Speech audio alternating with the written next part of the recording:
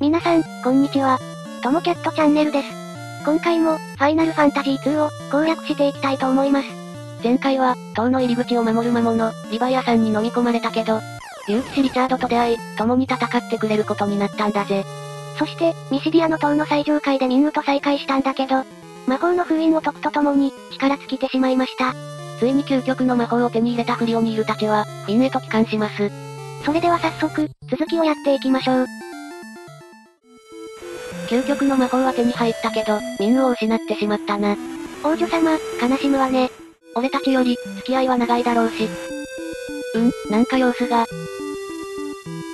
あれ？え、どうなってるの？街が、なくなってる？そんな、げ、なんでこんな敵が？出現する敵のレベルが上がってるわ。こっちはダンジョンクリアしたばっかなんだから、空気読めよ。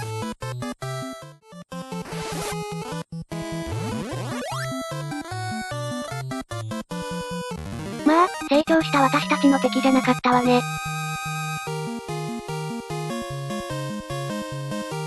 お宝いっぱいはありがたいけど、もう持てないんだよな。ヘイストの本だけもらっておきましょう。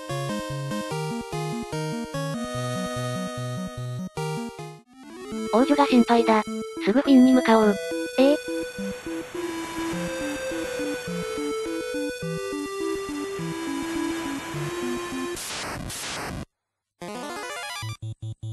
海の魔物も強力になってる。ええ面倒な。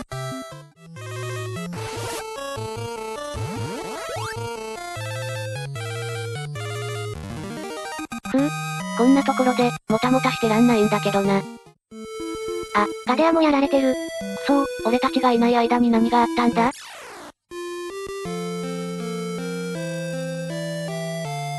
みんな死んじゃったええあんなにみんな喜んでたのに。アルテアやボフトは、皇帝の竜巻によってめちゃくちゃにされてしまった。このフィンも、もう一度竜巻が襲ってきたらひとたまりもないでしょう。竜巻？ああ、我々は、皇帝の魔力の前には無力なのか。あの竜巻は、皇帝の魔力が作り出したものだ。竜巻の中に入ることはできない。体が切り裂かれてしまう。あの竜巻の中に皇帝がいるのです。竜巻をどうにかしなくちゃいけないようだけど、どうしたらいいんだ？皇帝は魔力で竜巻を作り出し、アルテア、ガデア、パルム、ボフトを破壊し、このフィンのそばまで来ています。パルムとポフトもやられたのか。皇帝自ら、竜巻をコントロールしているに違いありません。せっかくアルテマの魔法を持ち帰ってもらったのに、このままでは使う間もなく竜巻に飲み込まれてしまう。なんか手立てはないのか？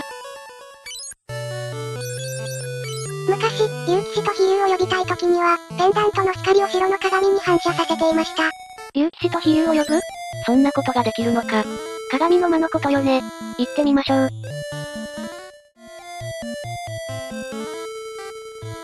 ここでペンダントを使うと、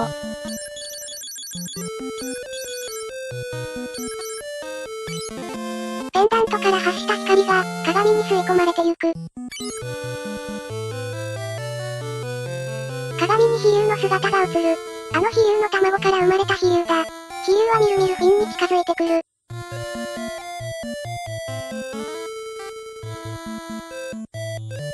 ついに竜騎士と飛竜が揃った。あの時の卵から生まれたのか？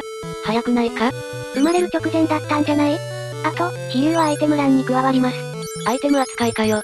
リチャードに装備できるので、アイテム欄を開けるためにも装備させておきましょう。まあ、飛竜にまたがって戦う、という風に脳内変換すればいいのかな？そう思って差し支えないですね。これで竜巻に行けるのか？飛竜は生まれたばっかりだぞ。実はあれから3年の月日が、月日が経つのが早いこと。竜巻に乗り込む前に、ボールにも話を聞いておきましょう。いくらお前でも、今度ばかりはどうにもならないよ。相手は竜巻だぜ。お前ら、あの中に入ろうっていうのか？全く大した奴らだ。よし、とっておきのお宝を使ってくれ。ベッドの横の壁を探してみな。ボールのやつ、気前がいいじゃないか。ありがたくもらっておきましょう。ただし、現在は持ち物がパンパンなので、ブラッドソードだけもらっておきます。2本目か？リチャードが使うかもしれないと思って、なるほど。竜巻に乗り込むわよ。おう。いけけ、飛竜よ。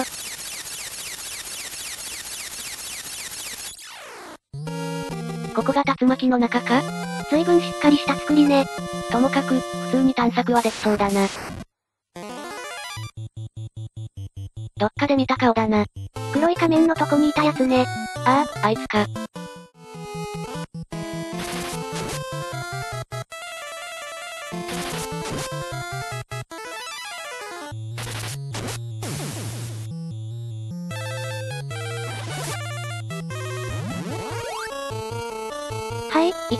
1ターン干渉。よし、どんどん行こう。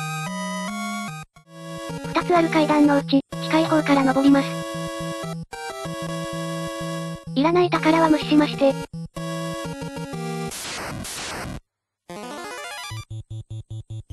ウッドゴーレムか。見た目通り炎に弱いですが、ミニマムが効かないのでコツコツ戦うしかありません。そういや、ヘイストを覚えたんだな。ヘイストは命中率を上げるのですが、バーサクとは違った用途で使用するので、ただいま絶賛レベル上げ中です。それは、回避が高いボス専用ってことかな。そういうことですね。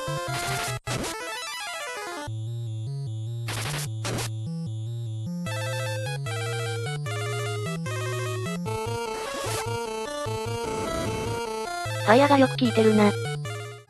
防御が高いので魔法頼みですね。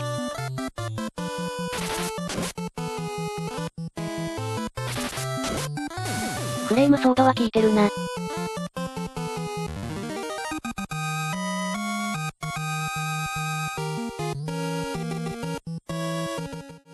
階段から3階へ。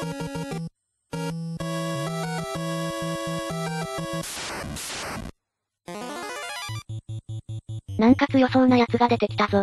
猛毒の追加攻撃は持っていますがそれだけです。今の我々の敵ではないでしょう。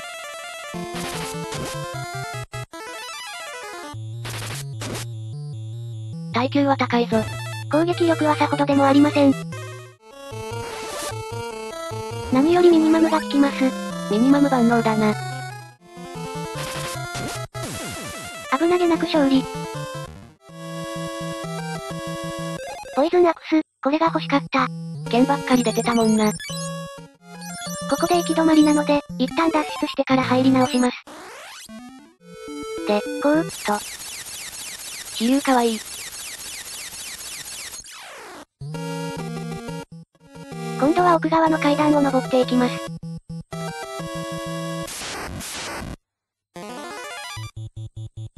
うわ、ヴァンパイアレディまでいる。これはちょっとまずいか。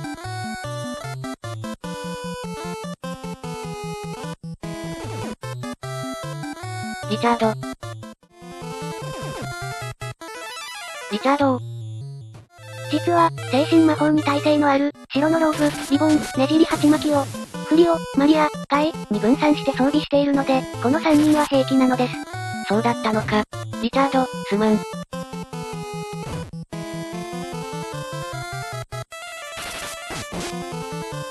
リチャードここで張り切ってどうする？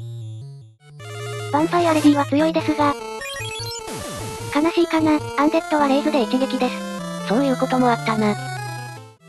その後、リチャードが暴れましたが、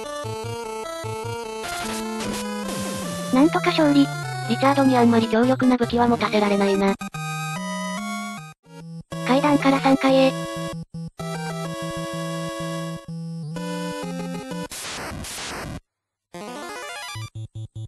あのキャプテンが普通に雑魚敵として出てくるもんな。こちらも負けてませんよ。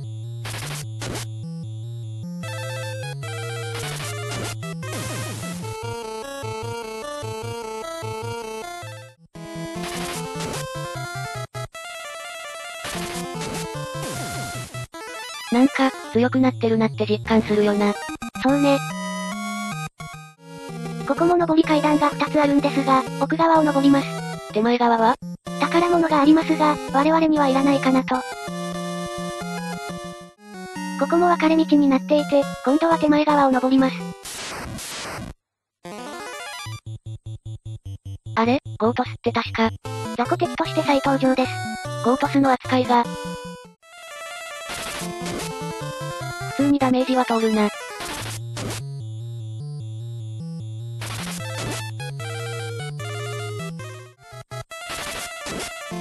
耐久力はさすが元ボス。でも問題なく撃破。この回で欲しかったのは、このディフェンダー。攻撃力の他に、回避も上がる用武器です。フリオに装備させておきましょう。あとは用がないので戻ります。またキモい敵が。アイメイバは、ミニマムが効かないので、我がパーティーとは相性が悪いです。殴って倒しましょう。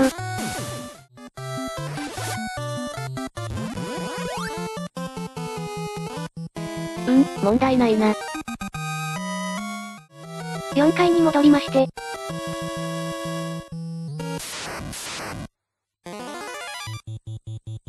ラミアか。クイーンの介護官ですが、眠り攻撃、誘惑、ブリンクは健在です。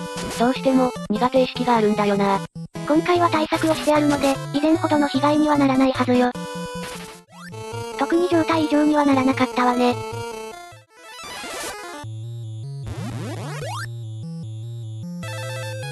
危なげなく撃破。今度は奥の階段を登り、さらに6階へ。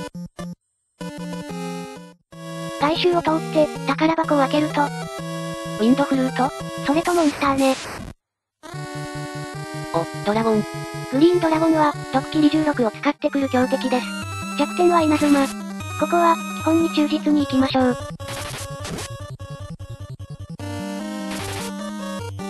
呪いにしまして。バーサクで攻撃力を上げ。殴る。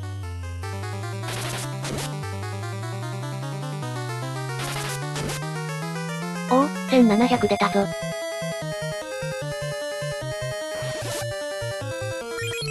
ダメ押しのバーサク。2000。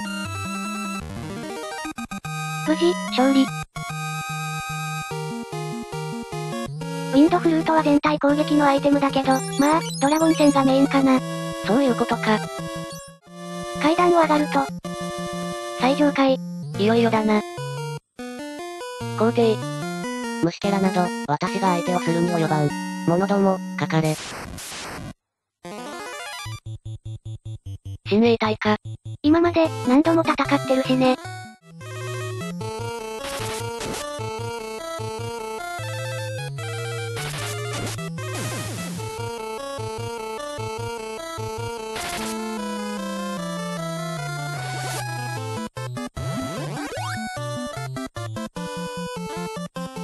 快楽賞。少しはやるようだな。だが、次はどうだ？芸がないわね。カットだな。なかなかやるではないか。私が相手をしてやろう。かかってこい。さすがにゴーレムは邪魔ね。光栄はいつも通り、ミニマムで処理するか。そうね。全体掛けでいけるかな？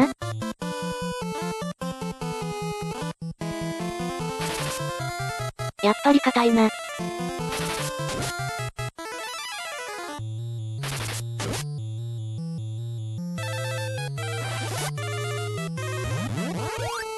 あ。いや、これは親衛隊を狙ってですね。誰だよ、皇帝に体勢つけ忘れたやつ。これはもう、消化試合になっちゃったわね。ああ。戦闘の BGM がボス用じゃなかったし、おかしいとは思ったけど。まあ、勝ちは勝ち、ということで。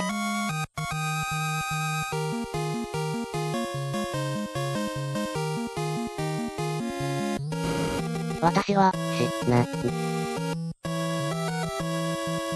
さあ、フィンに帰ろう。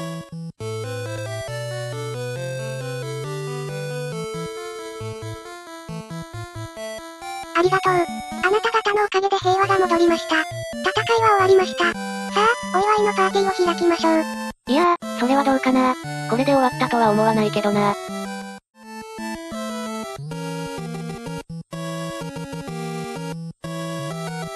だ、大変です。ダークナイトのレオンハルトが皇帝に。グフ。ええー、はい。というところで、今回の動画はここまでになります。さすがにあれで終わりだとは思わなかったけど、こういう展開になるとはな。これでレオンハルトとの対決は、避けられなくなったわね。マリアの気持ちを考えると、なんとか説得できないもんかな。そういう方向で前処してみるしかないわね。最後までご視聴いただき、ありがとうございました。次回、またこのチャンネルでお会いしましょう。それじゃあ、まったねー。